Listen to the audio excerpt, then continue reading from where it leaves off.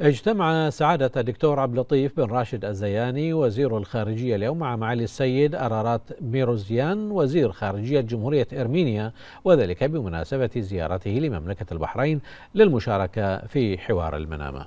وجرى خلال الاجتماع بحث علاقات الصداقة والتعاون بين مملكة البحرين وجمهورية إرمينيا وسبل الارتقاء بها نحو مستويات أكثر شمولا. وخدمة للمصالح المشتركة بالإضافة إلى تطورات الوضع في غزة والجهود الإقليمية والدولية الرامية إلى وقف الحرب وتجنب انعكاساتها على الأمن والاستقرار في المنطقة.